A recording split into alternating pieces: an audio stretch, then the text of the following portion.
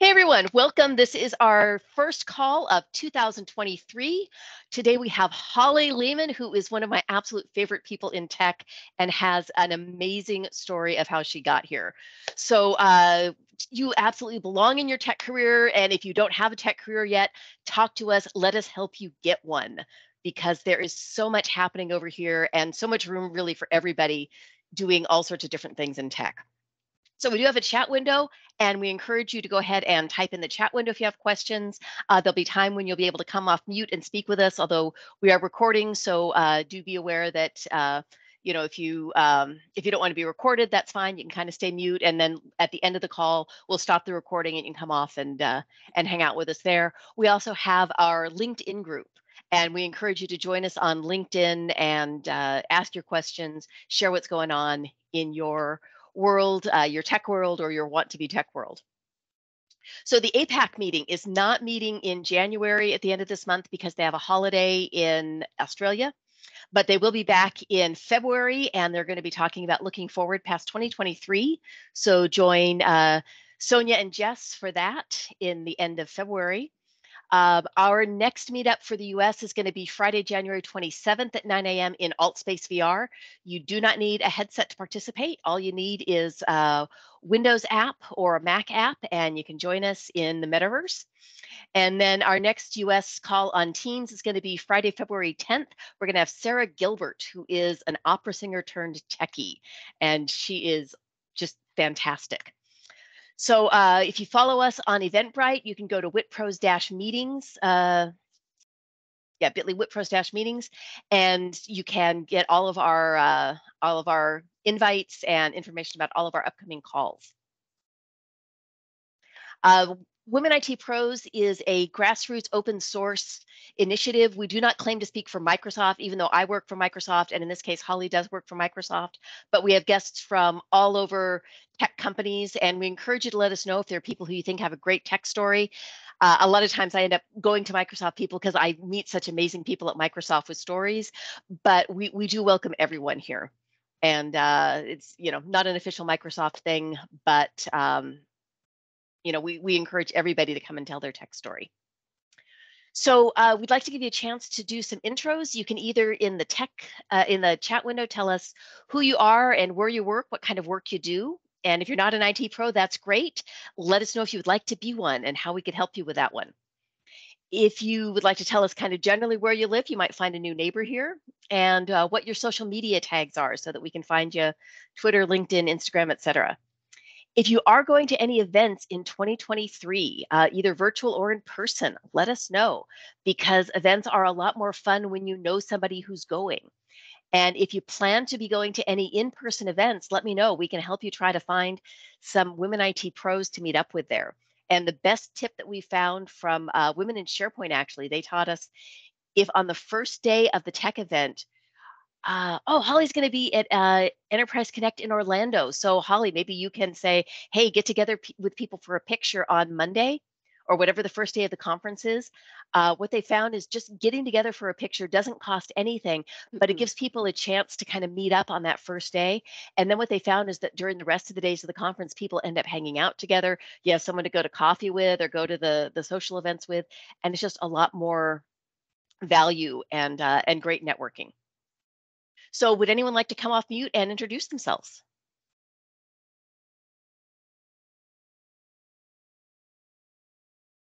And that's okay if you don't, because like I said, you know, it is recorded.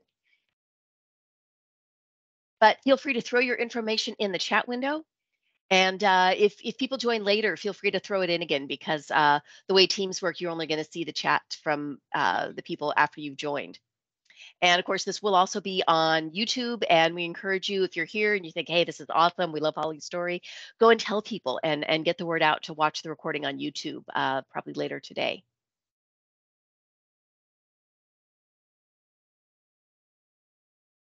So Holly is someone who I actually worked with. Oh, get someone else in the meeting here. Go.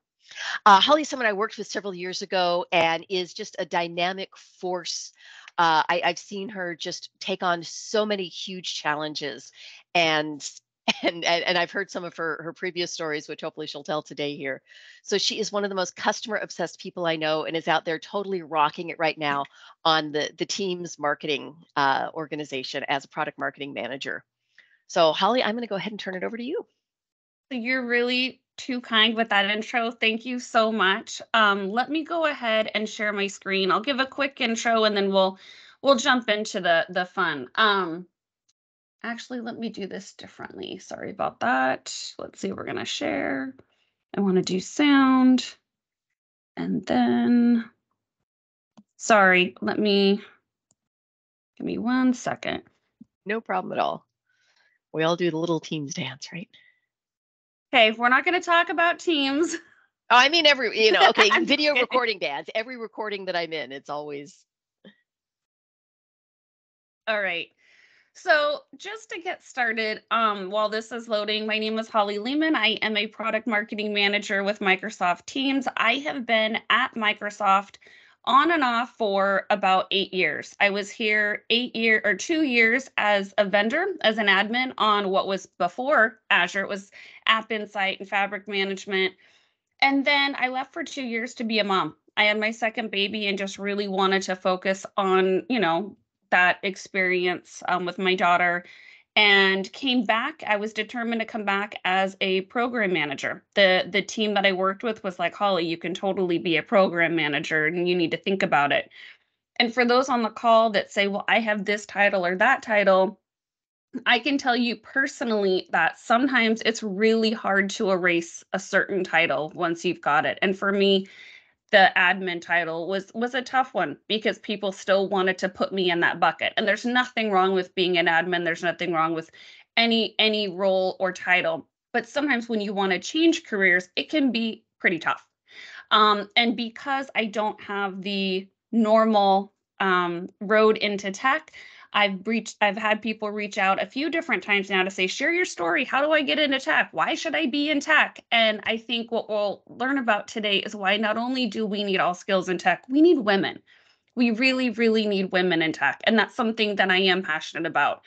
Um, and we'll get into my career and things like that in, in a minute. But um, so yeah, learn why you absolutely belong in your tech career today, tomorrow, and in the future. We're we're so privy to know working in the tech world like so many things are coming. And so um, it's not limited to just people who code or have a passion for tech but we'll talk about in a bit why we do need all skills. So feel free to come off mic. I am a super like chill person. I do love community. Um, and we'll talk about what my community footprint looks like, but please feel free to ask questions. And honestly, I just hope that my story inspires someone else on this call to do one thing different in their career. So we're going to talk about my career journey um, because I think it really level sets why we all belong in tech. And then we're going to talk about taking the leap. What does that mean to be uncomfortable and get outside of your box? And why it's so important to do things today like what Kathy's doing and growing your network. Growing your network doesn't just mean in the women women in tech industry, it means outside of your team, outside of your organization, outside of your company that you're working for. It's so important. And then lastly, we're going to talk about VU. It seems like some of these concepts, when I was writing this deck, I thought these are so fundamental, but sometimes it's the obvious that we actually miss. And so, anyway, this is my story. So I hope that it's interesting and helpful. Um, so, transferable skills. We don't often think about this um, in tech because we're like, oh, I work with engineers. They're very smart. They code end of story. But I'll tell you, um, being from Las Vegas, Nevada, born and raised, I've only been in Seattle now for about 11 years. My career journey had nothing to do with tech, but everything to do with tech. So when I was growing up, I started at Caesar's Palace at as a front desk agent working graveyard. And if I could tell you how interesting that was, um, but within that, I had to learn multiple point of sale systems. I had to learn process. I had to learn how to handle objections. I had to learn how to have customer service and really handle stress under pressure.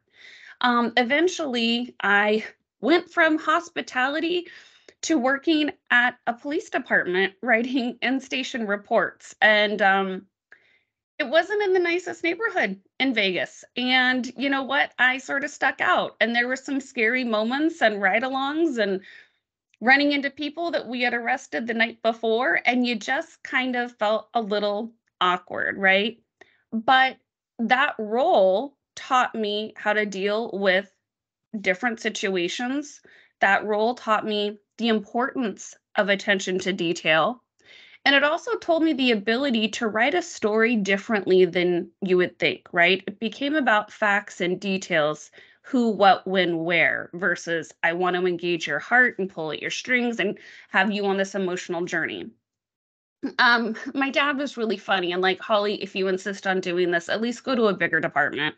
So I ended up going to the Las Vegas County Jail where I did booking and releasing and um if you think about attention to detail, there was no other role that said attention to detail than when you're releasing an inmate back into the public. It also taught me that there was a stack of policies and procedures and laws and rules and regulations that I needed to learn. Um, I was lucky I was going to college at the time for law, so it all kind of worked together. But it was something that you really had to pay attention. There was a lot of legal ramification otherwise. And then couldn't handle yelling at inmates anymore. Went to Bellagio to do what I truly love, which is making guest experiences a success, having people let me help them spend their money to make amazing experiences um, from decorating rooms to helping with you know a proposal and then lastly i worked at aria um, I was an executive VP for an IT VP and the hotel VP. I was the fourth hire on the hotel team. So when I started, that 4,004 room hotel was dirt. And my job was to do anything and everything that I was told to do. So although my title was an executive admin, that's really where I learned my PM skills. I was a program manager and I had no idea. It didn't matter what my title was my first job, like it's so funny how humbled you can be. I thought, wow, like I'm an EA for two VPs at this really cool property. Um, it's the biggest and best. And guess what I was told to go do? Research toilets. Yeah, I got to go and research toilets. Um, there's nothing more humbling than like measuring a toilet and figuring out why they chose this toilet. Um, and then really it was everything from that. It was anything from helping to select bedding to moving in for two weeks to check the tech support in all of the rooms to make sure that the bedding was done, the uniforms were selected, um, how to decide, you know, which scent you like and what's going to make a customer excited. So the reason I'm sharing this to really dig into the details are that all of these roles had nothing fundamentally to do with technology, but it gave me so many transferable skills that I use every single day in my world. From learning policy, learning procedure, really getting a customer to trust you and love you and say, hey, I'll give you feedback because I know that you're going to take it to the engineering team and do something with it.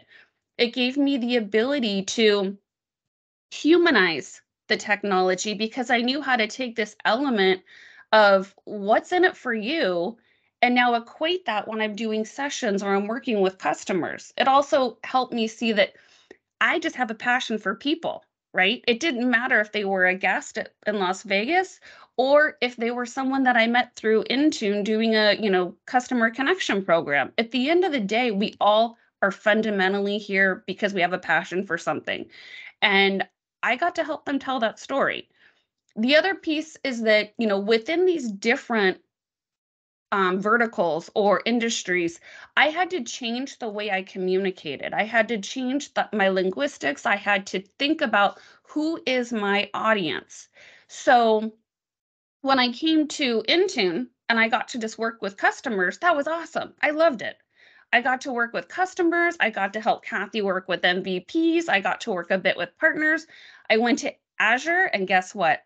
The rug got pulled out from under me. And they said, All your fluffy, bright, happy emails that you send, no, it's data driven, it's red, it's blue, it's get to the point, it's a too long did read because no one in engineering has time or really wants to sit and really connect like a marketer would or someone in community. So these transferable skills, I would say to anyone on the call, don't limit yourself to I do X role, so I can only do this role. I would say when you're looking at your resume, think about what traits, skills, and strengths you have that are these transferable nuances that nobody else has. Everybody on this call has a completely different background, a completely different personality, and completely different skill set. And if we can take those transferable skills and bring them into tech, it is a powerhouse of what we can create. So, stepping out of your box, when I think about going to Azure, I was so excited, you guys. Like, I thought, okay, I've got Intune under my belt, configuration manager, and now I'm going to go to this big bad Azure that like is this conglomeration of all this technology that makes Microsoft awesome in the cloud. And I worked with the MVP community. Um, that was awesome. I worked with customers. I worked with partners. And then one day we had what's infamously called a reorg. And all of the things that I love and I thought were awesome and I had passion around got absolutely pulled out from under me, went to where they belonged in the community space. And I was given a spreadsheet to review Azure technical feedback on Azure Marketplace. And then I got to look at that spreadsheet and explained to the engineering team in Israel, who only met at 3 a.m. and spoke Hebrew, about this technical feedback that they already knew it made me so uncomfortable, but it also made me know I can learn a new role outside of my skill, scope, strength, and passion and still be successful at it. And now looking back, when I go to events and I hear customers say, Does Microsoft really listen to feedback? I get to raise my hand and say, Yes, yes, because I personally reviewed lines and lines and lines of feedback. And then I had to figure out why isn't this working? What is the issue? Do I work with marketing for education? Do we work with engineering to fix bugs? Kathy herself used to spend hours and hours and hours looking at user voice feedback. We no longer have user voice, but we have the feedback portal. And there really is somebody behind that feedback portal that are reading those lines. And so when I'm meeting with customers, I can now have that lens that yeah, maybe it wasn't my favorite role, but it sure did teach me a lot. And now I have a different level of empathy for our customers. I understand the pain points that they're dealing with.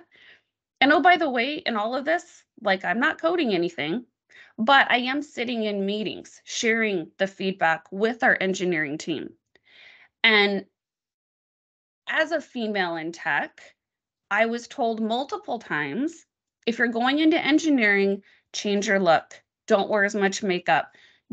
You might want to change what you're wearing, not because it was inappropriate, but it was too feminine. And I thought, well, you know what? I know that I'm smart.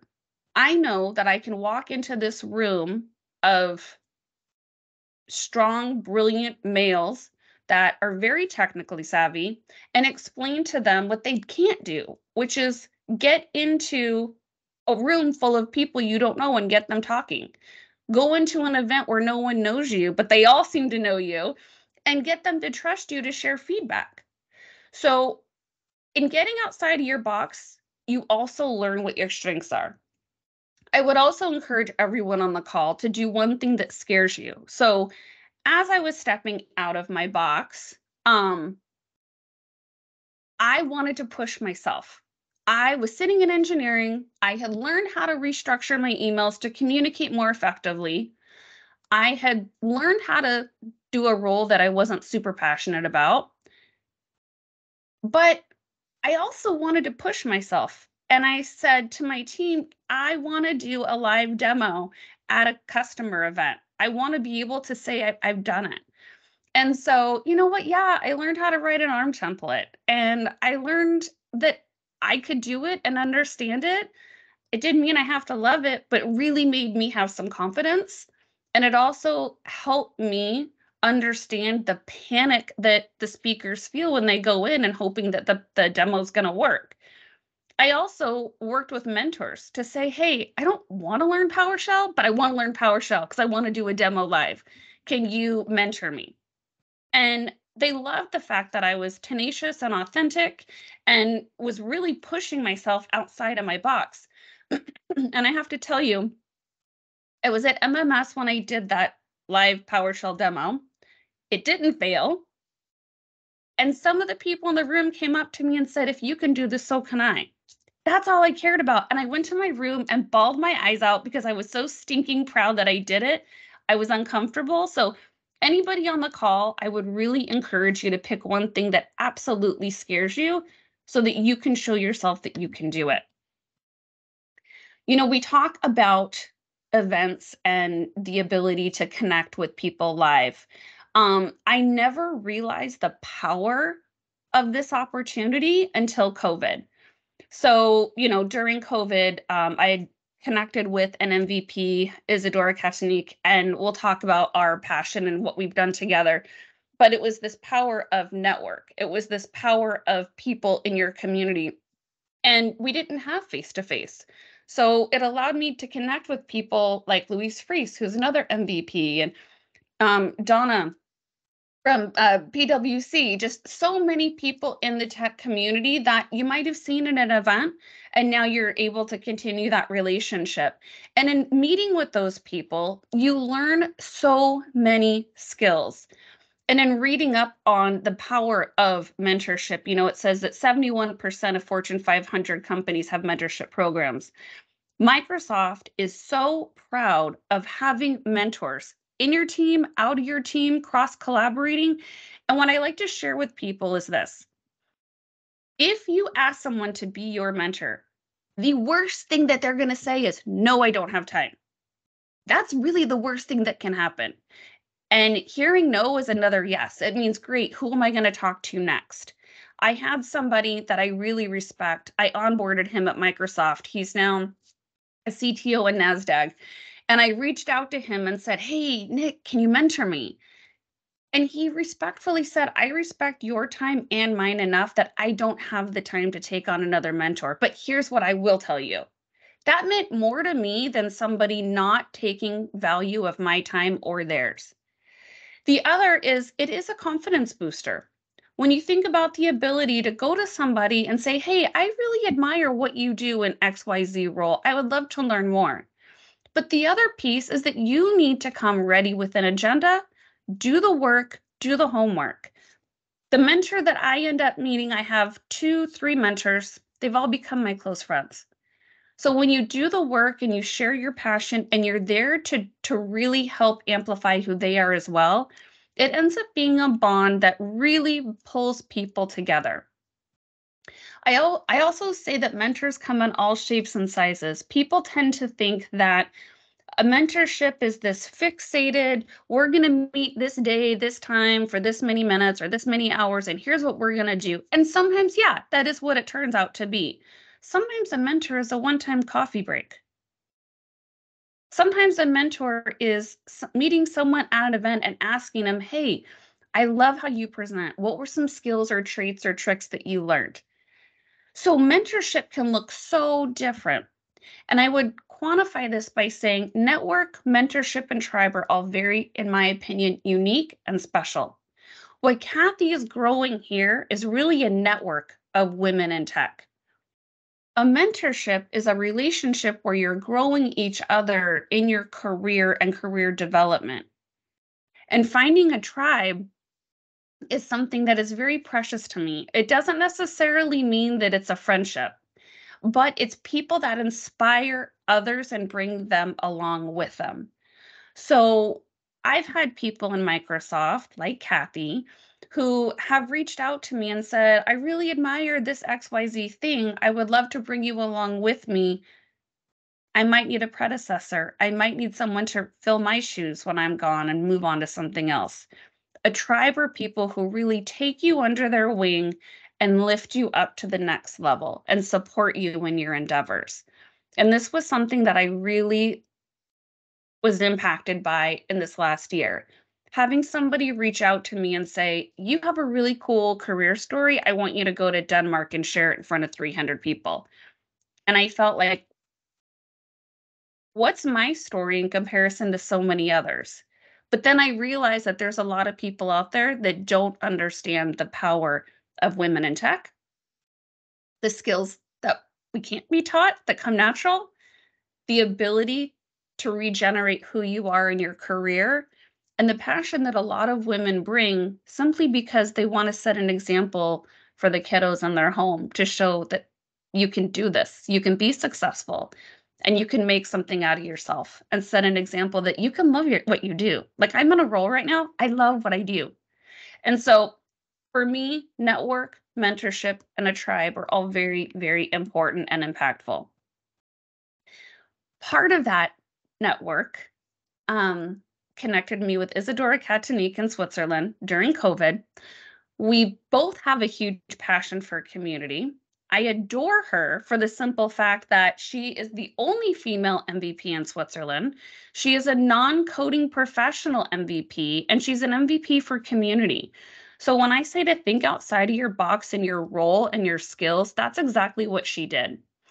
And when I talk about being scared to hear no, I probably emailed her three times and then deleted it because I was scared she was going to say no. But I had this idea like, you love community, I love community. Let's virtually travel the world and interview all sorts of people in tech. Bring in the diversity and inclusion, geolocations, time zone, male, female, just all encompassing, and talk about their career stories. And we have learned so much by doing this, and we grow our network.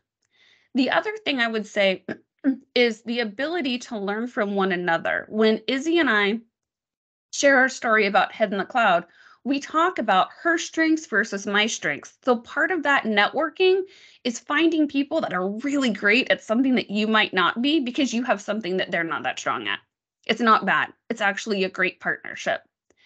And in working with Microsoft, and no matter what company you're working in, what I do love about Microsoft is that if you have a passion for something and it will create brand love, community enhancement, and showcase your team and what you work on, typically they're not going to say no. They're going to say attach it to a goal or a team OKR.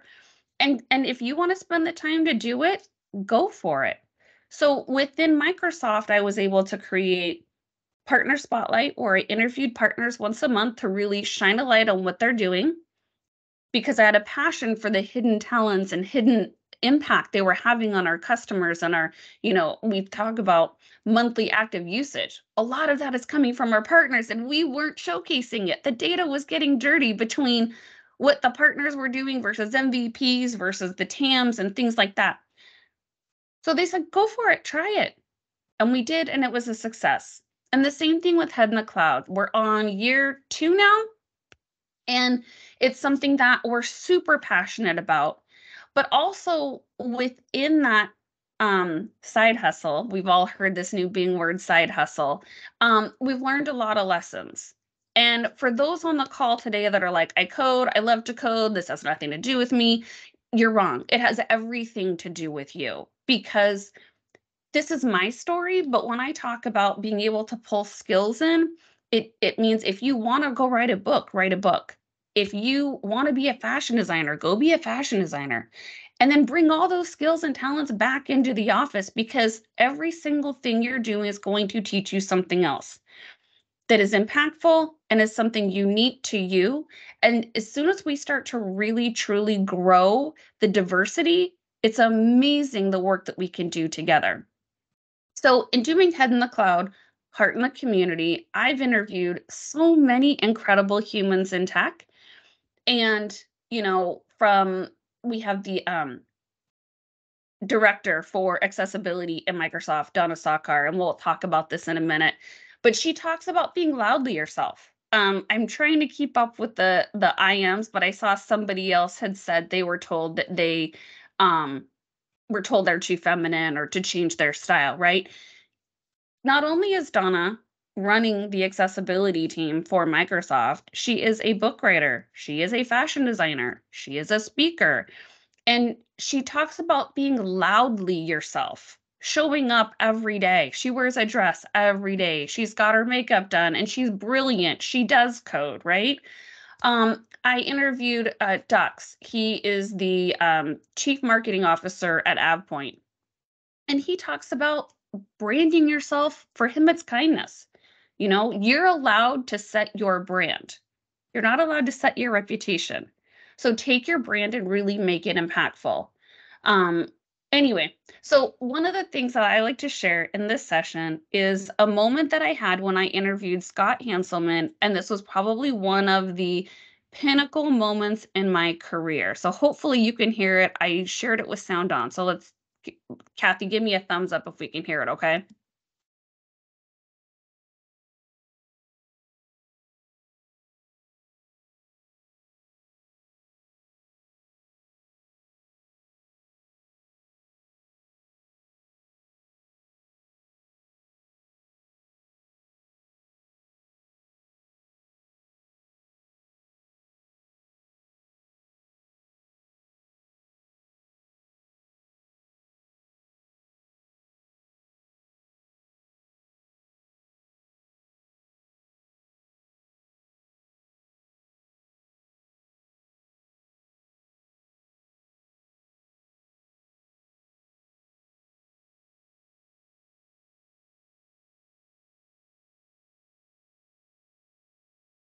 So I I have to say I share this, but this was a very humbling moment for me to have one of my guests basically change the talk track.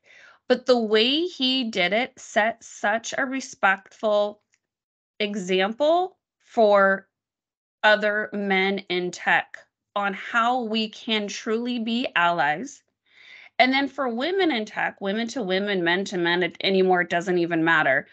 That if you're giving constructive feedback in a way that will embrace another human's strength and skill, it's okay to do it. I had someone that Kathy and I both know quite well lecture me to the point I was in tears when I said I was uh, I wasn't technical.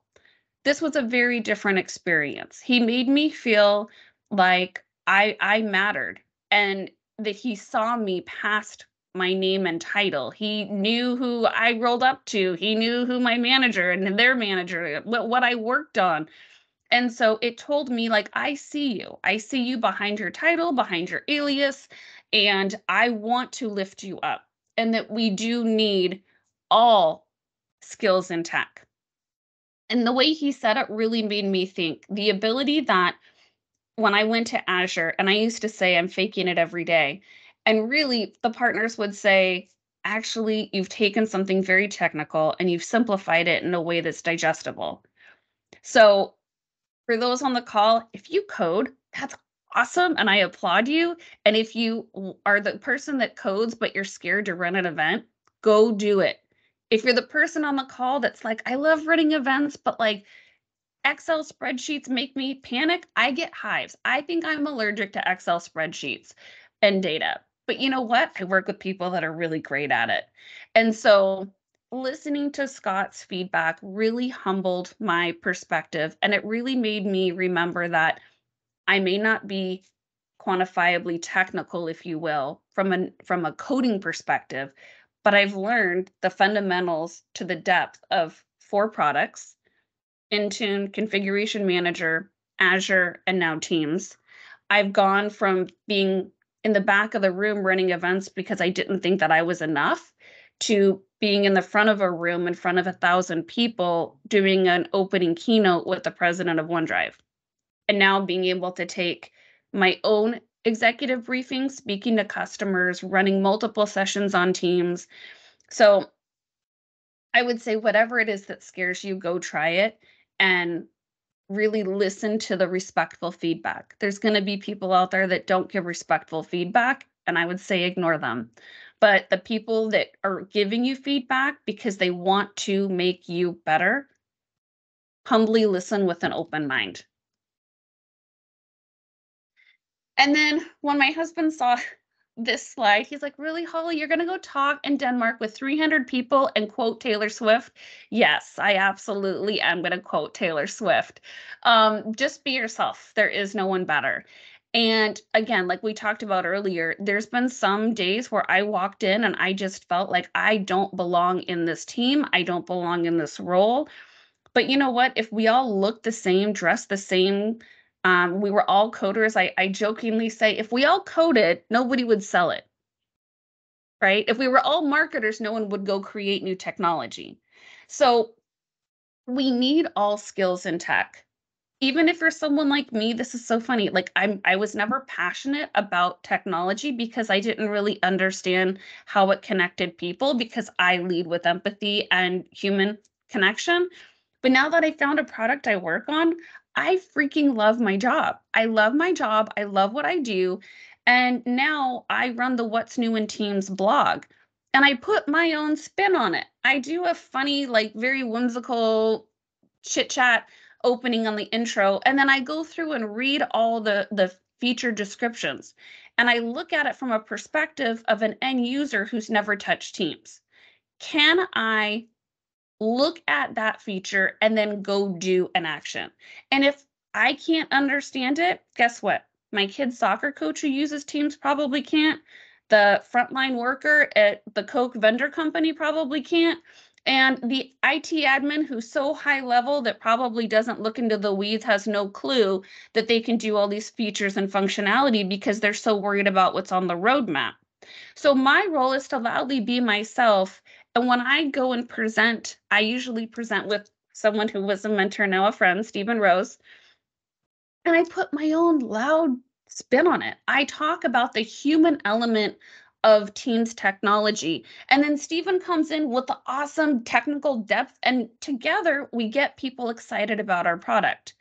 I'm not afraid anymore to stand up on a podium and say, I don't code, or I worked on Intune and I could give you a high level of what it is, but I really love Teams because it's connected people all over the world. And here's all the cool things that it can do. And in addition, by having this footprint in admin, customer service, hospitality, law, engineering, and now marketing, I'm able to speak to all different types of audiences and spin the, the talk track for who I'm speaking with. Because guess what? My world and my um, network got real big real fast. And so it only enhances people's capabilities. So, um, you know, with about five minutes left, I love to wrap with five reasons why you belong in tech as a quick recap. Um, just remember that your skills are your own. Uh, you know, someone on the call, Priscilla, works for DGM. One thing I love about David James is he always really respected Kathy and I. Hey, you really know how to connect with the customer. You really know how to run an event or you really know how to get feedback and get it to the engineering team. So make your skills your own. Look at your background as opportunities, not I can't or I didn't or I don't have.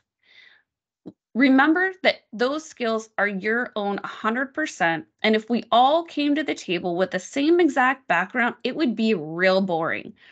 But because Kathy ran MVP Summit and I ran Airlift or Ignite, we were able to say, hey, here's some really cool ideas on how we can make certain things better and enhance what we're doing for the company because we could brainstorm together coming from she's a theater, right? I'm hospitality and law.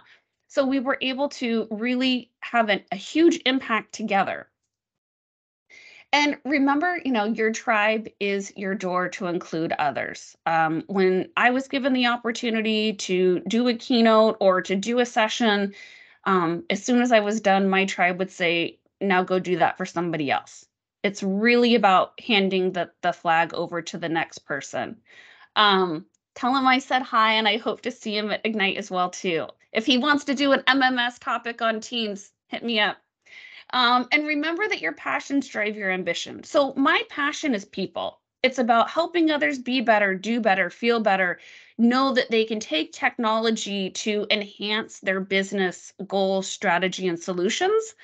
Um, it's not the actual technology I'm super passionate about. I want people to knock on my door like Chris Gill, or um, not Chris Gill, sorry, um, Sean, he just started at Microsoft and he said, Holly, if it wasn't for you inviting me to the customer connection program and showing me the insides of Microsoft, I don't know I would be here today.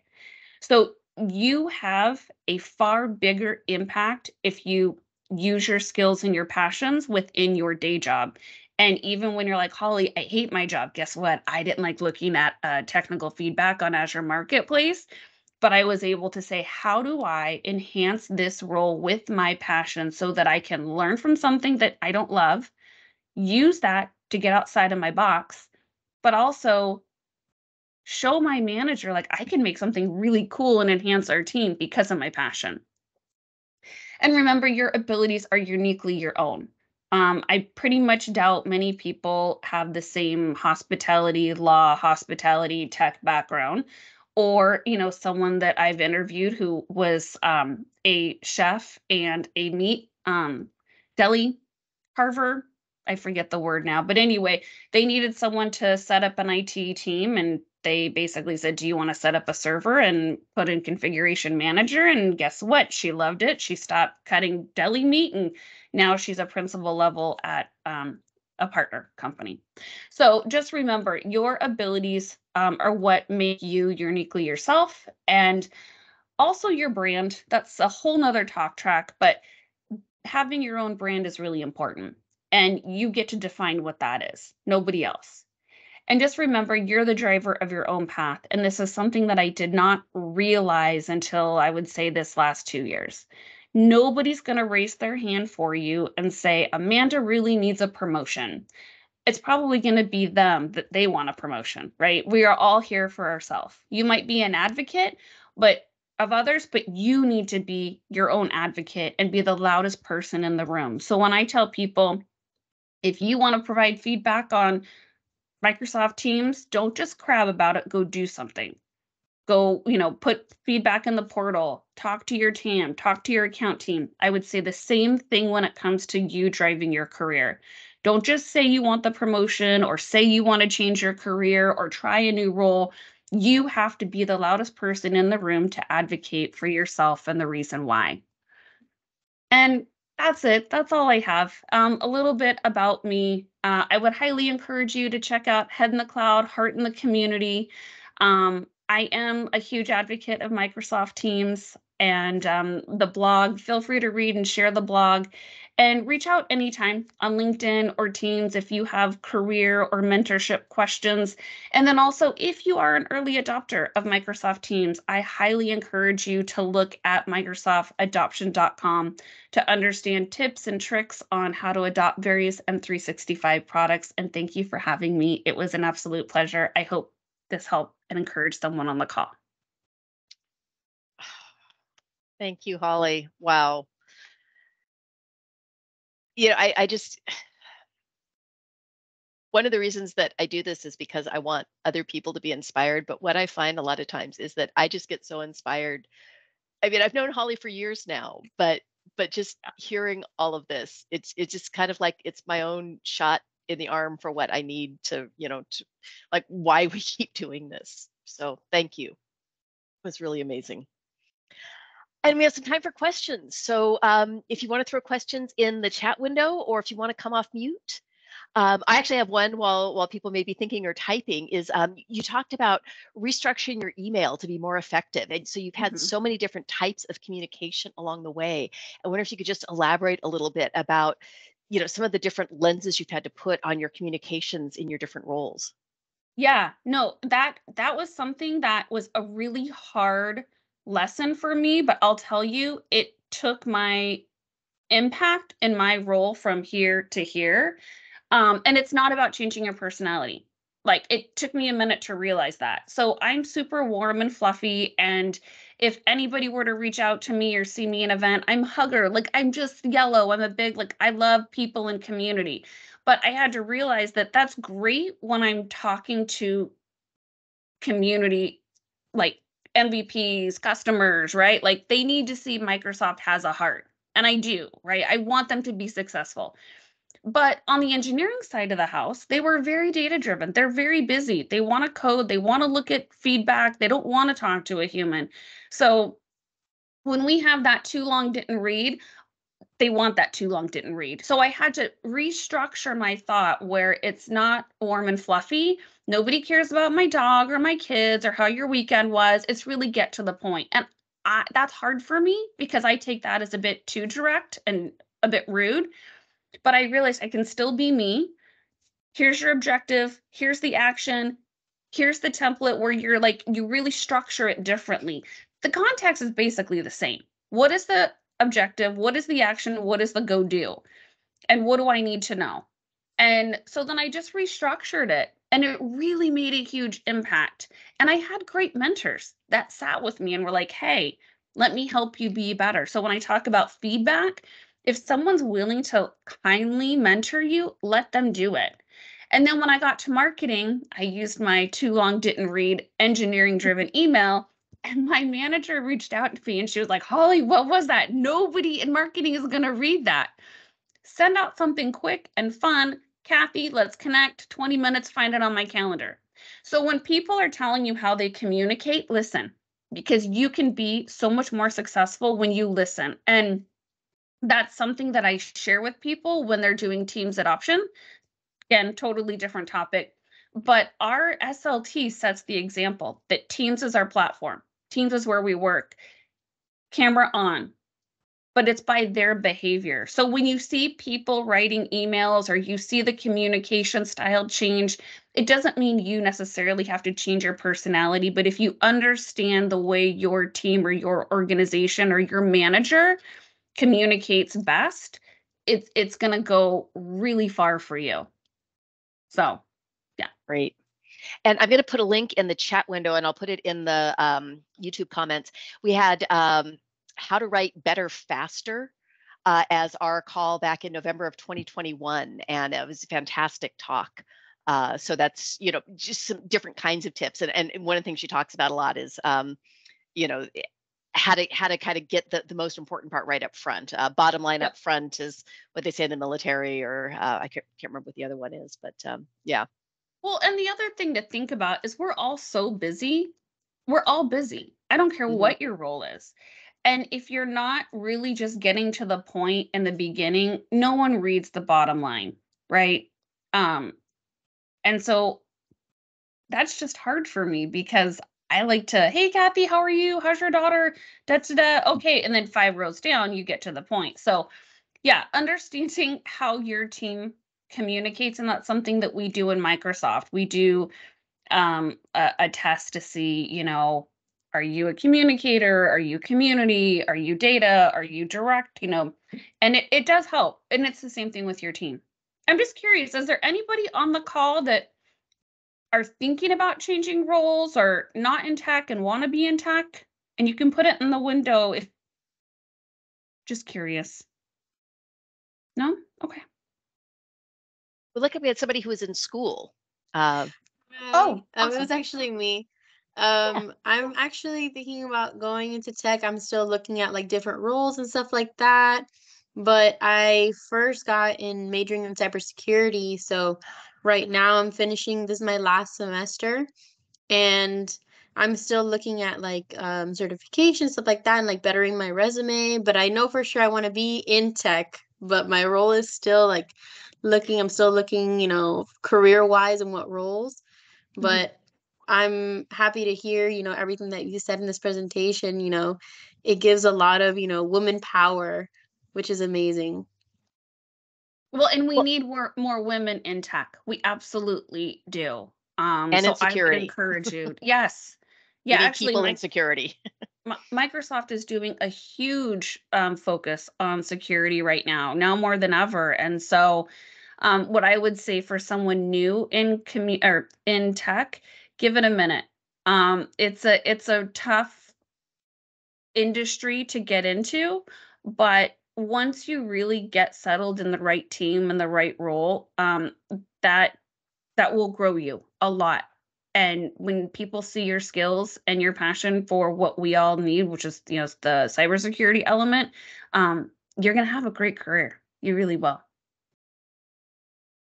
And you know, just looking around at what I found on Twitter, um, you know, I, I when I started Women IT Pros, I was trying to find, you know, where where do I find the women who are in the non-coding parts of tech? And I found a couple of groups, like you know, there, there's Women in Cloud and um, uh, women in security, I, I, found several different groups that are all about women in security. So I think there's a lot of opportunity in there and a lot of opportunity that doesn't necessarily involve coding. So I'll put a link. I have a Twitter list for uh, birds of a feather groups that are, you know, other groups that are are trying to pull women together in those areas. And I, I think you might be able to find some good mentors in there and some good contacts, and you know, reach out to these people on Twitter and just say, hey, you know, I'm a student.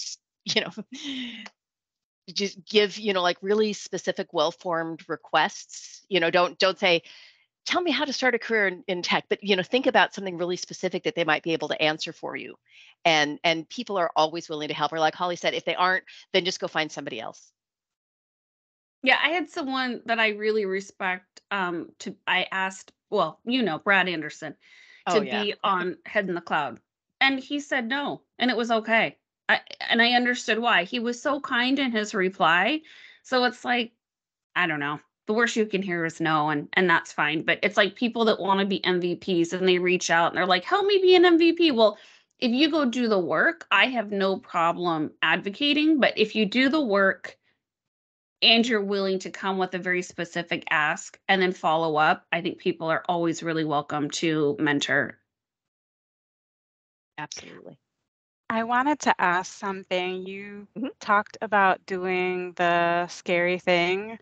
Mm-hmm. Um, how, what was like your first, did you just jump into it? Um, or, you know, let me just give you an example.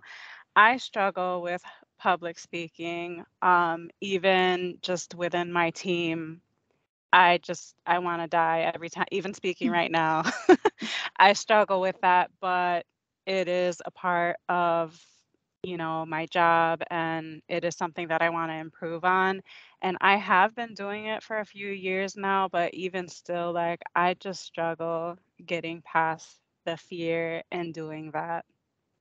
Well, I'm uh, proud of you for talking on this call. like, I mean, honestly, for me, I'm very impulsive in some ways, and I just sign up for things, and then I'm like, oh crap, why did I just sign up for that thing? And then I go do it. Like, after um, I signed up for the DNI session with 300 people. I was like, what in the world am I doing? Like I, but I did it. And then I, and then you check the box and I, um, Scott Hanselman said something after that session because I gave myself feedback. I'm very hard on myself, Priscilla. Like I did a session and I ran, um, I ran early, right? It was supposed to be 40 minutes and I was like 25 minutes, right?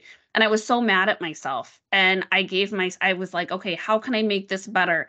And I really like was tough on myself. And Scott said, he goes, Holly, whenever I do a session, I'm always hard on myself as well. I give myself 15 minutes to be mad and then I move on.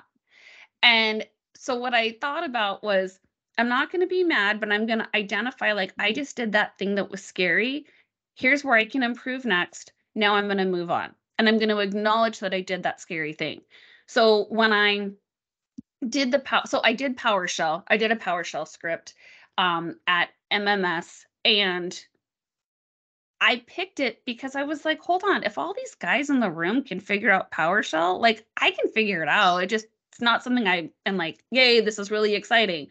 So it just kind of depends what what hits you. And for you, if it's presenting and doing public speaking, I would say sign up for every possible opportunity, have somebody mentor you, ask for feedback from people that aren't just going to pat you on the back, but say, here's how you can en- enhance this. So, like I was told, slow down. Um, I was told before you speak, after you're done with the thought, stop and take a breath. And it seems weird and uncomfortable, but it forces you to define each thought and give yourself that moment to just stop and calm down. Um, and then ask people for opportunities, right? So when I said, Will you teach me how to write an ARM template? This poor guy knew this wasn't going to be a 30 minute deal. This was days and days and days of learning how to write an ARM template. Um, I'll probably never do it again, but I felt really good after walking through the process. So I don't know if that helped. It does. Thank you. Yeah. And I, I put a link and I'll put it in the um, YouTube notes again. Uh, in January of 2020, we had um, Alicia Dara talk about uh, train your voice, claim your power. And that I was a fantastic talk. Yeah, definitely go and check that one out. Got And the funny minute. part is, usually you're the only one that hears that you're nervous. Yeah. And if you want help speaking, you know, talk to me, talk to Holly. Uh, you know, I'm a former theater professor or theater uh, uh, major, and um, I've, I've been a professional trainer for years. So even though my voice is catching on itself right now, I'm usually pretty good at public speaking and happy to help people. You're as well. great at public speaking, Kathy. So- well, we're just about at time. Any last minute questions? Anyone want to throw anything else out? And reach out on Twitter if you want. Mhm. Like if something comes up later, like I never mind people reaching out to me. And I will be at Enterprise Connect. I'm probably going to be on the DNI panel um, talking b- about career in tech. So if you're at Enterprise Connect or you want to go use code Microsoft to get a discount and reach out to me anytime. I'm just I feel very very thankful that you had me on today. This was a blessing. So thank you. Thank you so much, Holly. Really appreciate all of you being here. Uh, remember that we do have our um, meetup in Alt Space on the last Friday of the month. And uh, we don't have an APAC meeting this month, but we will have uh, an APAC meeting in February. And then we'll also have Sarah Gilbert on the second Friday in February coming back with us on Teams. So join us here, catch us on YouTube, and keep going out there and being awesome. Thanks.